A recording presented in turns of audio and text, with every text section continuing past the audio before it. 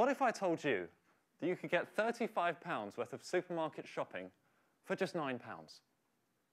What if I told you that you could save hundreds or even thousands just by changing your mindset when it comes to spending?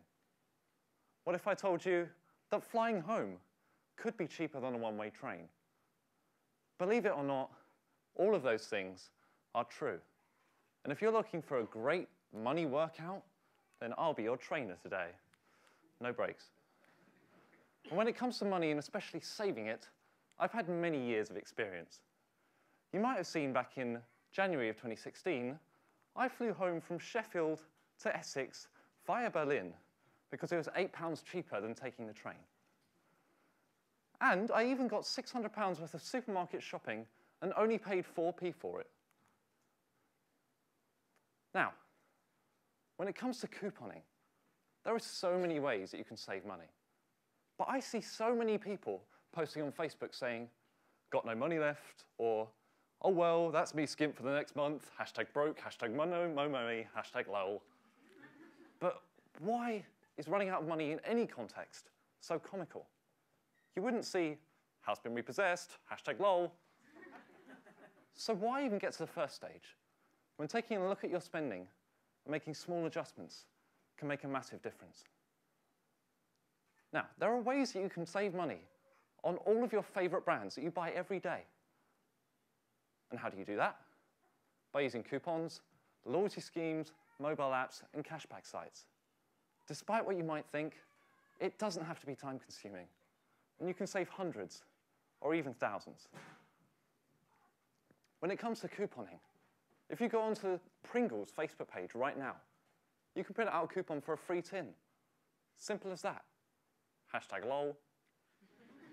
There's also, if you go onto Actimel's website right now, they're giving away a free yogurt drink. All you have to do is print it out. There are hundreds of coupons for you to print out right now from online. And all you need to do is Google the word coupons.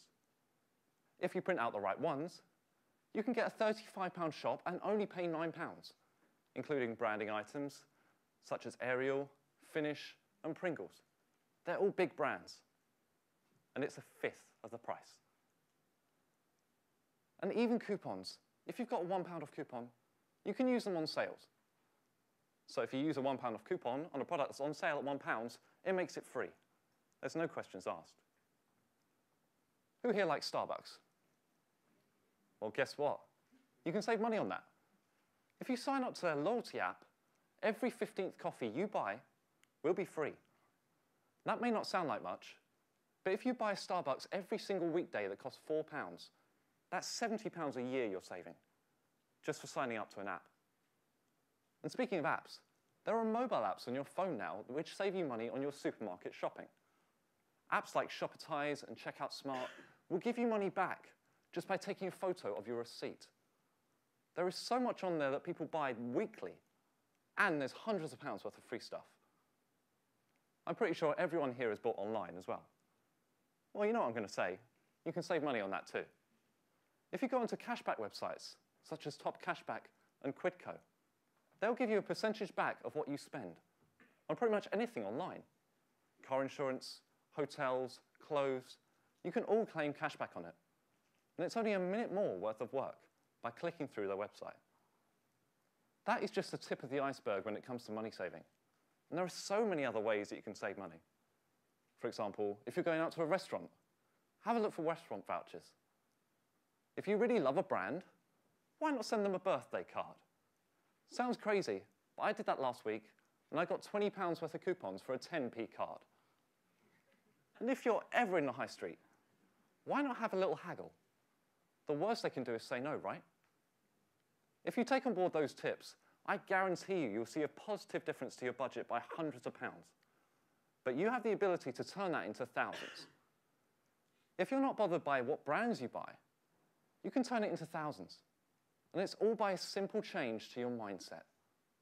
Just by not buying that one Starbucks coffee every single weekday that costs £4, that's £1,040 a year you'd be saving.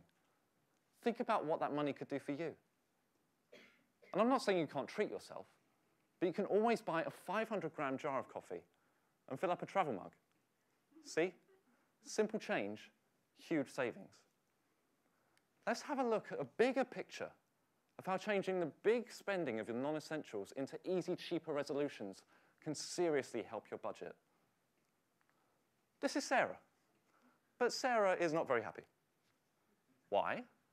Although she earns 2,000 a year a month, sorry, 2,000 a month after tax, all of her expenditure means she's left with 30 pounds each month. Not much to save with, right? But if you look at what she's spending, there are some things that are a bit questionable. And if you change those into easy, cheaper resolutions, she could save thousands.